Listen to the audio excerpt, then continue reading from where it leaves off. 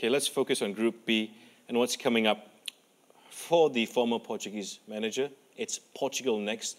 They've just lost the game against Spain 1 0. Can they do it again?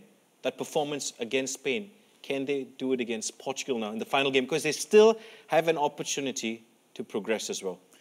Well, if you see, you know, the way they played, they, they won the game, their first game, and uh, they could have a better chance in this game, mm. you know, and they play very well.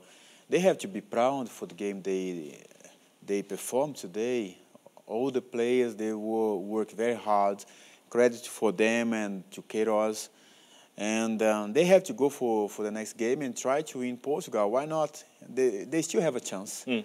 If they win the next game, depends the results of the Spain. They still have a chance.